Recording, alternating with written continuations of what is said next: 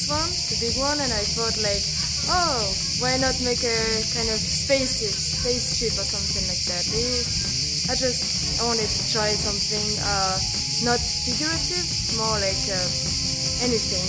And when I came here, I saw that the big paw in the middle was in metal, so I was like, yeah, what's not, why not use it? So I'm trying to make this. Uh, I don't know what spaceship around this pole and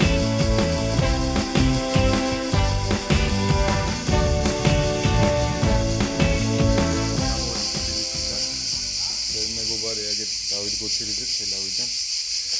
მოგვიწვიეს მეგობრებმა რუსთაველმა მხატვრებმა ამ პროექტში. 168, რა ვიცი, ფიქრობ ძალიან საინტერესო გამოწვევაა და აი ეს გარემო რაში სადაც გვიწევს ახლა ყოფა მუშაობა. ორ მაგათ საინტერესო სფის ამ შემოქმედებით პროცესი აა პირდაპირ ურთიერთობა ხდება დამთვალიერებელთან ამ პროცესის აა შეფასება შეიძლება ესე ითქვას